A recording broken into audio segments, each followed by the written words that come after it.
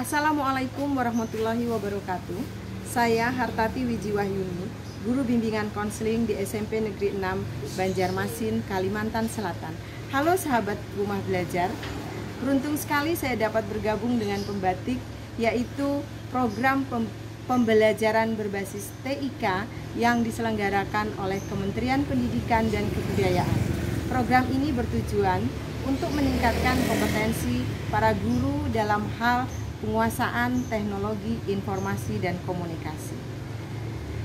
Sahabat, pas banget kan dengan situasi saat ini? Di masa pembelajaran jarak jauh seperti sekarang ini, kita dituntut harus dapat memanfaatkan teknologi informasi dan komunikasi sehingga dapat memberikan pembelajaran ataupun layanan bimbingan yang kreatif dan inovatif agar peserta didik tetap aktif belajar walaupun dari rumah.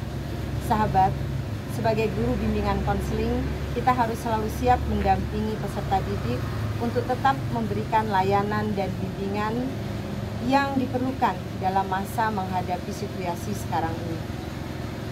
Baik itu layanan dasar, layanan responsif, maupun layanan peminatan dan perencanaan individual. Pada kesempatan ini, saya ingin berbagi pengalaman memanfaatkan teknologi informasi dan komunikasi sebagai sarana layanan bimbingan konseling. Yuk kita saksikan.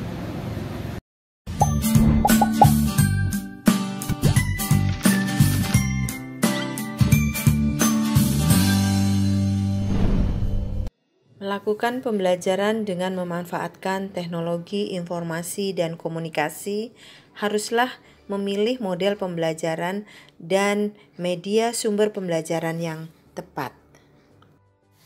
Saat saya memberikan materi dengan tema motivasi berprestasi ketika e-learning, saya menggunakan fitur-fitur di rumah belajar tentunya untuk memotivasi siswa agar lebih bersemangat. Saya membuat PowerPoint yang saya upload pada Google Class sebagai sarana daring. Bahkan saya juga mengarahkan siswa untuk menggunakan produk-produk Pusdatin seperti rumah belajar ini. Sebagai sarana komunikasi, saya menggunakan WhatsApp fitur grup kelas. Model pembelajaran yang saya gunakan adalah blended learning, adapun langkah-langkahnya sebagai berikut. Yang pertama, seeking of information. Siswa mencari informasi secara online. Tahap kedua, acquisition of information, di mana guru membagikan tugas kepada siswa.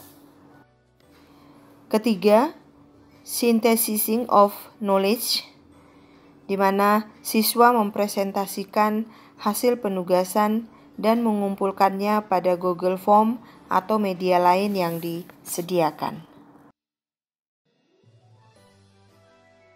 Assalamualaikum warahmatullahi wabarakatuh. Saya Nasful Lutfunisa. Saya Aprilia dari SMP Negeri 6 Banjarmasin. nama saya Muhammad Farhan Hasim. Saya Asila Sabita Fitri. Nama saya Ayu Widya Ningsih.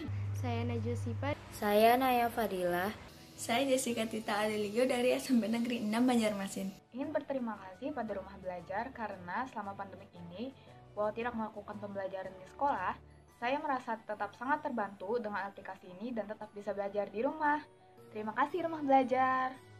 Banyak informasi yang menarik dan sangat membantu selama masa karantina bersama rumah belajar. Belajar di rumah, siapa takut? ingin mengucapkan terima kasih kepada Rumah Belajar karena aplikasi itu saya bisa belajar di mana pun dan kapan pun.